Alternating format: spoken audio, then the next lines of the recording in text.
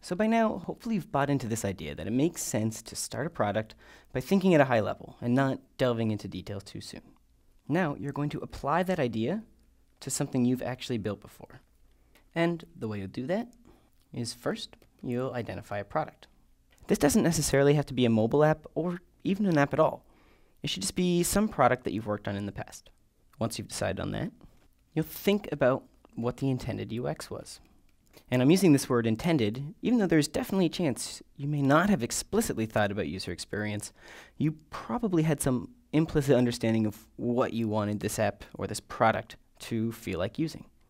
Next, you'll make a Prezi wireframe to help you focus on the high level flow of this product. And then you'll find opportunities for high level improvements. This can mean rearranging the steps, adding a step, removing a step, but hopefully by forcing yourself to write down the flow of the product at a high level, kind of like this, you'll spot any opportunities for big picture improvements. Good luck.